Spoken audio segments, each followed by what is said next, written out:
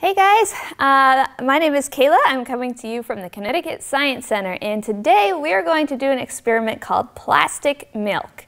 Uh, now it's not really plastic, but it's going to act a lot like plastic and it's going to be a fun way uh, to create something new that you can build and kind of create.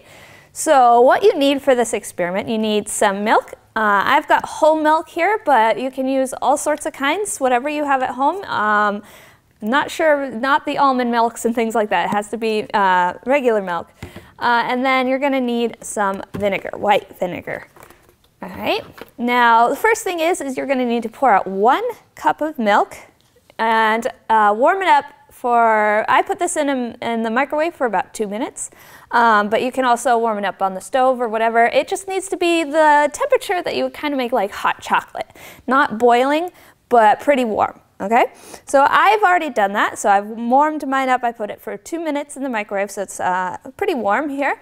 Um, and what I'm going to do is I'm going to add four teaspoons of the white vinegar. And then once you have your four teaspoons in, you're going to start mixing it up. Now it's going to start kind of um, pulling apart almost. The milk's going to become very thick and chunky. Um, and it's going to make, they're called curds, um, kind of lump curds inside. It's not making cheese. This is not quite the same way of making cheese.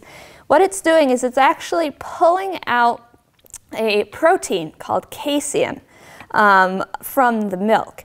And this casein actually acts a lot like plastic. So plastic is a chain of molecules called a polymer.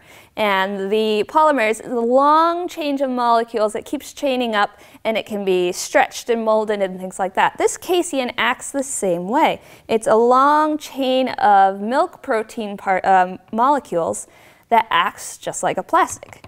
So once you have it mixed up, it's going to be uh, a little bit chunky in there. We're going to take it out and we're going to strain it.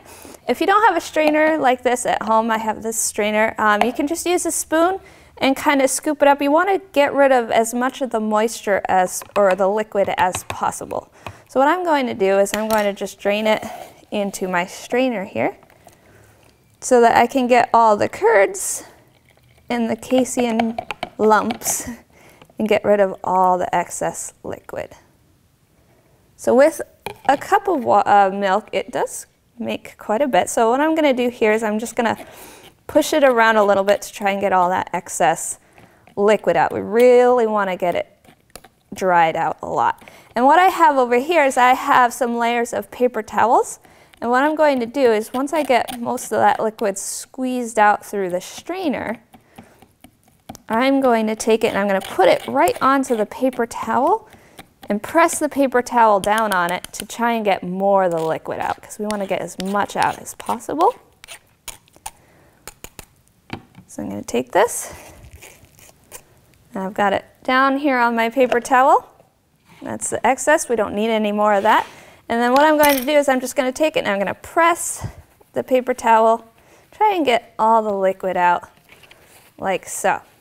So now I have what they call plastic made from milk. So this is the casein that has grouped together and you can use it if you want. You can mold it into a shape. You can use a cookie cutter or something like that um, to make it. Uh, the thinner it is, the faster it will dry out.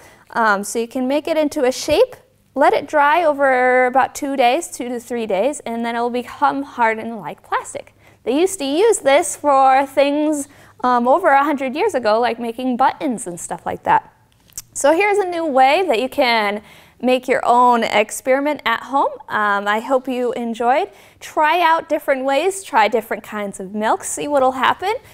Um, I hope you enjoyed uh, this experiment today. So if you want to check out some cooler experiments and um, things to do at home, you can always check out our blog um, for more Science at Play um, things from the Science Center. So thanks guys for joining us and we'll see you again soon. If you are enjoying this activity, please support the Connecticut Science Center by making a donation.